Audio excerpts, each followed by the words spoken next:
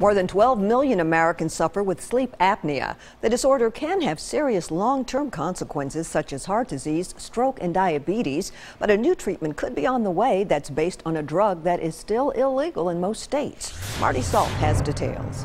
Getting a good night's sleep hasn't been easy for Lisa Smith. Each night is the same. Wide awake, tossing and turning.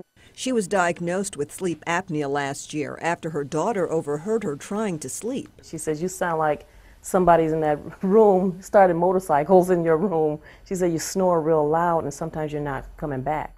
Doctors prescribed this CPAP machine. Put this to it and just breathe. To help her restless nights. The CPAP, although it helps me sleep, I get these marks all over. I gotta wait all day to try to pump my face back up because I got the marks all over my face. But now researchers are studying a new pill that could change that. This would be the first of its kind for sleep apnea.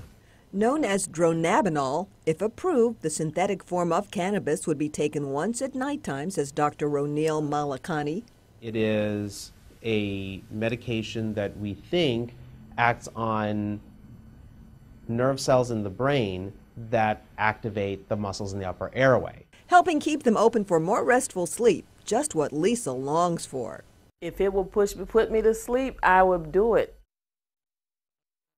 The drug has been used to help cancer patients gain weight and control nausea. Stay with us, we'll be right back.